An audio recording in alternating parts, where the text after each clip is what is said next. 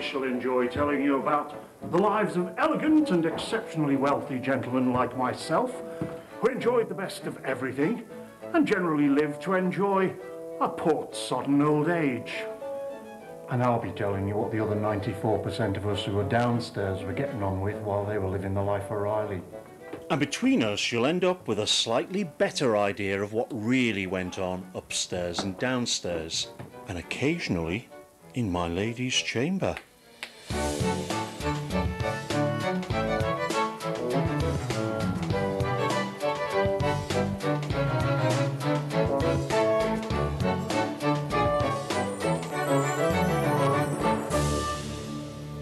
You know, our part of the world's awash with wonder-filled country houses.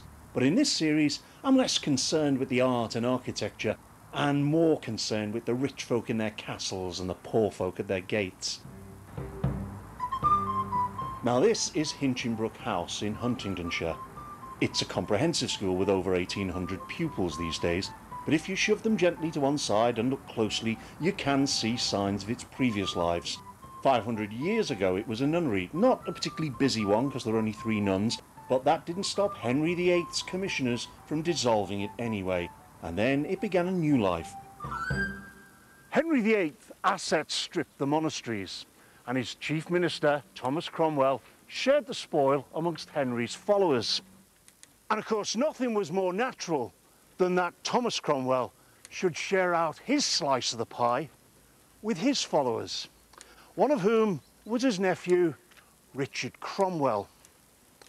He got a very nice piece of the pie. Hinchingbrooke was the prize, along with several other abbeys and priories in the Fens. It gave Richard a phenomenal income of £2,500 a year. And what better way to display their wealth and their power than to actually move the gatehouse from Ramsey Abbey and plonk it down here in front of their new house. And the gateway was merely a beginning. His ultimate aim was to attract royalty into his home. So when Queen Elizabeth arrived at the gate in 1565, long dreamed of opportunities arrived with her. So what do you give a visiting queen to eat? No idea, but here's our culinary correspondent to tell you what the rest of them were tucking into. The staples, thank you. Common to all classes bread. Now, masters and servants ate bread, obviously, but the masters ate the very finest bread that was available. Pandemain, it was known as, and it was made from the very finest white flour, which had been sieved three or four times. Very expensive, very beautiful and soft to eat, very important for your diet. You went down through six other layers of bread, each one afforded by different members of society, till eventually you got down to one of the brown breads, maslin or cheat, um, and you also had horse bread, the very bottom of the pile. Horse bread was made not even from wheat, it was made mainly from oats, and it'd be thickened up with peas and beans. Ooh. Now, the other staple, sorry, thank you. The other staple was cheese, and again, it sort of came down the pecking order. The really soft, easily digested cheeses were the preserve of the lords and the masters. As you went down the table, so to speak, the cheeses got harder. Again, they were still tasty, they were still nourishing, but the skim milk cheeses that most of the lower orders ate, well, on occasions they were so hard that you actually had to hammer them with a mallet to get them softened up enough to eat. Thank you. And potage. Love the bowl. Anyway, potage was what you or I would know as stew but sometimes they were stewed for such an extraordinary length of time that they dried out completely, pretty much like this. Now, what else? Ah, of course, what we know about everyday food is little or nothing compared to what we know about festival food. And of course, the fine cuts of meat were what you would be treated to at the high table. Thank you. Oh, wow, are they, are they pickled artichokes? They're marinated artichokes. Hmm. This is good acting, this, because I can't stand artichokes. And, of course, well, this is like a pate. It's a minced veal. All this stuff would be served at the top table. And that was the good part about being in a household. You were served food on a par with your masters, although perhaps in smaller quantities, you would at least get to taste this stuff. The good folk outside of the household, the peasantry living on the, on the land, simply would not see this sort of food. Just far too expensive, far too grand. And this is all very well, but thank you. For an habitual occupier of the top table, I would, of course, expect the very finest wines. That doesn't look very much like the finest wine to me. Oh. Oh. When Richard Cromwell bequeathed the house to his son Oliver, no, not the Oliver Cromwell, this was his granddad, the fortune had got smaller, but the house was considerably larger. In 1602, Oliver literally stamped his mark on the place by building this huge bay window. Just like his dad, he wanted to get royalty to pay Hinchingbrooke a visit. You can wheel and deal with the monarch, with all of her entourage. You bend their ear, do a little bit of business, and hopefully position yourself really well within the royal service and reap the rewards. And while you're doing that, outside here are tens of thousands of the country folk who've all come for a beano. Welcome to another of Bryan McNerney's absolutely all expenses spurred, ridiculous reenactments, meticulous in every unhistoric detail of a great historical event, namely the visit of King James VI of Scotland on his famous visit to England to take up the crown of the late and much lamented Queen Elizabeth I to become James I of England. You see, when he came out of Jimmyland in 1603, he came down the A1 or the Great North Road. And when he arrived in this part of the world, Oliver Cromwell decided this was the perfect moment to build his family's future by making an impression on the king which he would never forget. And so everyone in this area flocked to this house and anyone who was worthy of being admitted to the house, so the instructions said, was to be brought in and feted and feasted along with the gentry and the aristocracy and the new aristocracy on its way down from Scotland and the lower sort of person, as they were termed, they were to be entertained in the grounds of the estate. The problem was, it all went horribly wrong for Cromwell because he was remembered by the king as a great host and, and, and someone who was lavish in his expenditure.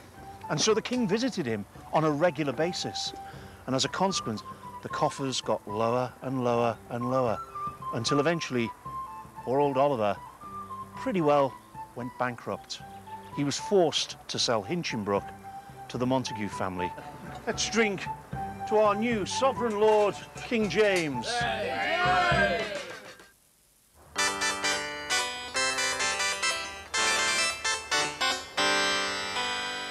From the moment the Montagus came here, they sent out a message to everyone around that they were the new rising power in this part of the world. And not unnaturally, all their friends and their family intended to rise with them. Including one particular, very competent and very hard-working secretary by the name of Sam Pepys. From the moment Samuel Pepys entered the service of Edward Montagu, he was, to all intents and purposes, a made man. Because Montagu rose high and fast in the service of the king. So, as he did well under his patron, so Samuel did well under his. And his patron expected the same obedience and deference from Sam as Sam expected from his own servants. So much so that the Earl of Sandwich, as he was later to become, was more than happy that Samuel should come here to visit his family back at Brampton and while he was here just generally oversee the work that was going on for the Earl at his house at Hinchingbrooke. And such was the sense of family and connectedness that whenever you read Samuel's quotes, it sounds as though he's talking about his own house and not just that of his master. I can't actually remember it. It's, um... The house is most excellently furnished with brave rooms and good pictures. So do you prefer it infinitely to Langley End? I think he means Audley End, but he's been dead for 350 years, so you can forgive him a slip. Actors, you see, you give them one line and they fluff it. Come on, dear. Anyway, Pepys was a hard-working man. But he took his cue for leisure activities from his sovereign, Charles II. Fast horses and faster women were the order of the day. Sam here had a tendency to drop his breeches the way one would doff one's hat to the king. But of course, he used his position at the Admiralty ruthlessly. Women would come to him seeking better positions for their husbands in the Navy. And Sam, shall we say, on occasions made their husband's promotion conditional. And of course, when it came to dealing with his servants at home, he was almost as indiscreet.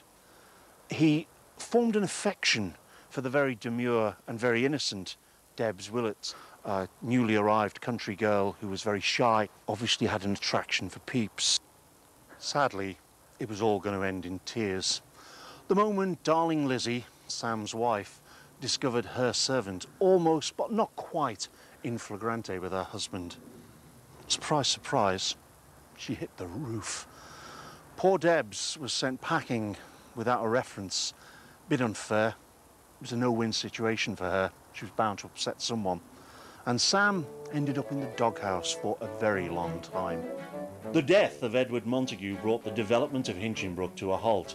But stand by to meet his colourful great-grandson, who brought the place back to life.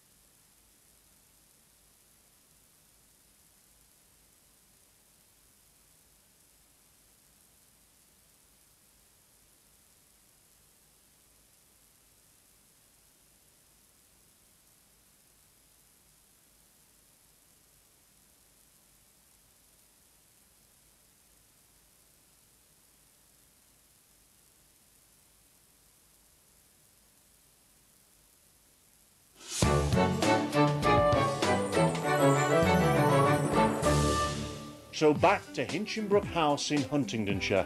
This place went from being a nunnery to a state comprehensive. I'm sure there's a joke in there somewhere, but it probably wouldn't be appropriate before the watershed. So let me tell you about the Montagus instead.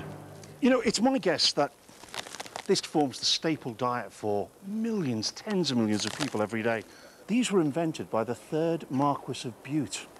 That's why we call them butties. I'm sure I got that wrong. No, I know what it was.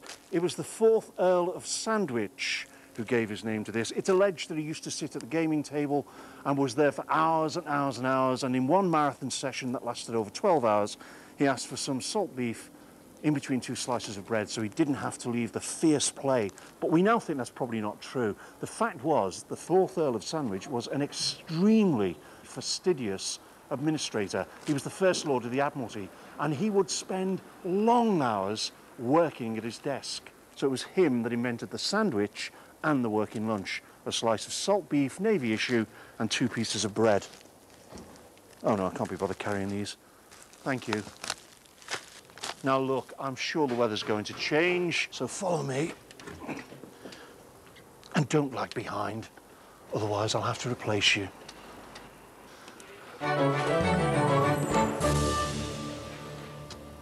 Now, the Montagus were a great seafaring family, and John Montagu, the fourth Earl, was no exception. He'd been instrumental because he was great at recognising men of humble birth who had great ability. He'd been instrumental in sending Captain Cook out on his great voyages of discovery.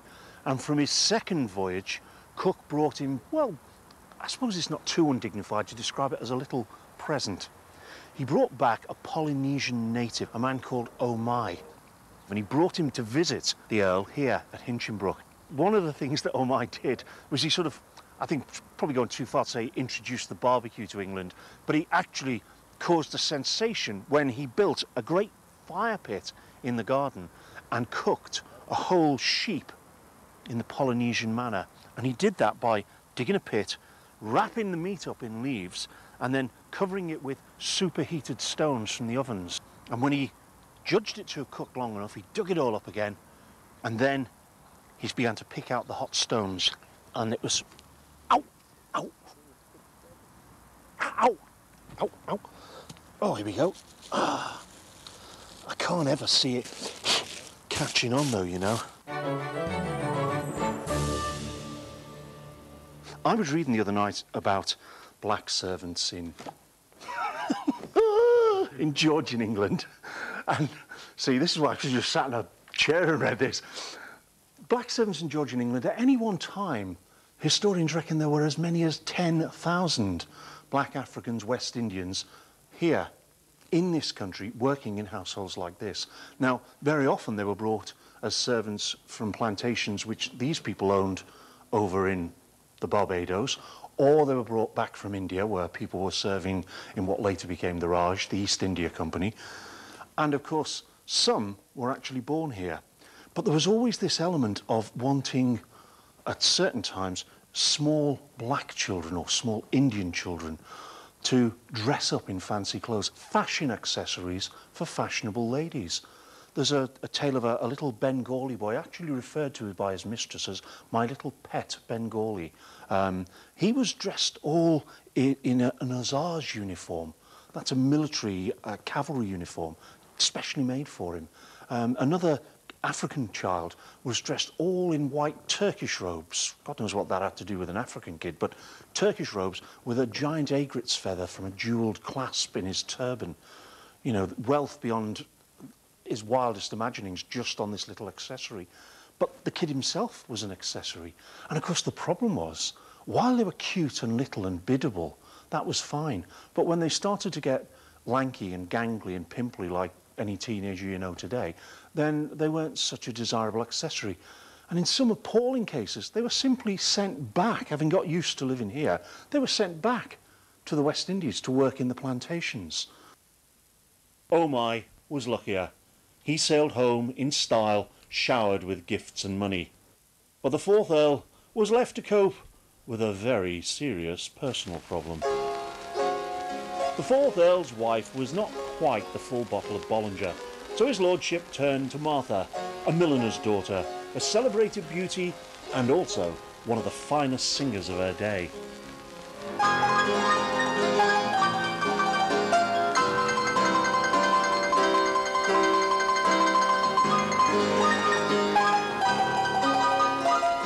With her ladyship safely installed in a lunatic asylum, his lordship was able to install Martha here at Hinchingbrooke.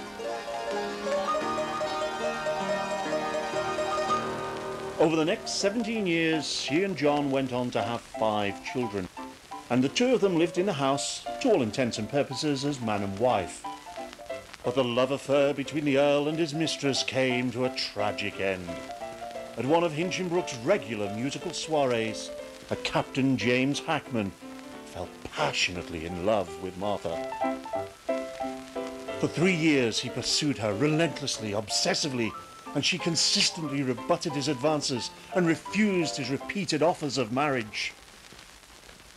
Insanely jealous, he eventually followed her up to London to the Opera House at Covent Garden. He shot her in the foyer, invariably fatal to women of a certain age. Turned the pistol on himself, but it was a Mikle single-shot weapon, and with no manservant nearby to reload it for him, it failed to fire He was tried for murder and attempted suicide and hanged. The Earl swung too, between delight at the demise of his mistress's murderer and deep despair at the death of his beloved. I know, I know we're having a laugh with this, but as is often the case, there's a really serious point behind it all. Martha had taken at some point the very deliberate, very decisive step to become the mistress of a rich, wealthy, powerful man. It was a recognized route for certain women of a certain degree or condition in life to go down that road. In those days, because women still do it today, but in those days it was the only way that a woman could get into any position of influence unless she was born into it already. And it came fraught with dangers. It could work spectacularly well. Everyone's heard of Nell Gwyn, orange seller to king's mistress. Brilliant. It could end disastrous, disastrously, like Martha Ray. And for an awful lot of girls, it never even got started. They gave in to the persuasions, what we would now call sexual harassment, of the eldest son of the Lord or the Duke who promised his dairymaid that he would love her forever. And once father was dead and he was the newly appointed duke, then they would both live happily ever after. And once he tumbled her in the hay, she was just as quickly forgotten. You see, if he left something behind him and she got pregnant, she was out the door faster than wink. And if she said no, she was probably out the door every bit as quickly. It was a no-win situation. In 1854, a young country maid named Hannah Cullwick caught the eye of barrister Arthur Munby. Their social positions were somewhat at variance, but they ended up being secretly married and surprisingly happy. From Hannah's diaries, it becomes clear that their sexual relationship was as blissfully unconventional as their marriage. Munby, you see, had an expressed preference for cross-dressing and tumbling Hannah while she was dressed in working class clothing. Hannah and her costumes were his heart's delight. Ah, oh, bless. You know, the thing that irks me is I can never get a dress to fit. The seventh Earl of Sandwich, John William Montagu, was a substantial Victorian landowner and in the 1860s, all his tenant farmers coughed up the money to subscribe to and commission the painting of this excellent portrait. It's actually quite a good likeness, isn't it? Do you mind me asking, were you really as humane and considerate a landlord as the inscription suggests? Of course. Well, I mean, I only ask. I mean, don't be sniffy. It's just that all I've got to go on is what it says up there and wouldn't be the first inscription that didn't tell the whole truth. The word of a gentleman should be sufficient. Fair point, well made. But of course, the thing is, that's what historians have to do. You have to ask the sometimes awkward and embarrassing question. Because if you don't look at all the evidence and gather it all up, you don't get the whole picture. You see, think how many times you've coughed up money in the office to subscribe to a collection for a retirement present for someone you can't stand. Most of us just lob in the tenner and stay stum. That might have been happening here. I don't know. What I do know is that the Earl that followed him, although he never married, entertained on a lavish scale. No less a person than Edward VII was a regular visitor to the entertainments at Hinchingbrooke. So in a sense, the eighth Earl, almost the last of the line, squared the circle for all those families that had used Hinchingbrooke to draw people in and bring the spotlight onto their family. Because old Edward was the last monarch ever to be entertained in these walls. Now, next time at Wimpole Hall, I'll be taking a bicycle ride to an old ruin, or should I say, no, you don't need me to encourage you, do you? Also, I'll be telling you just how fearful the jangling of keys can be.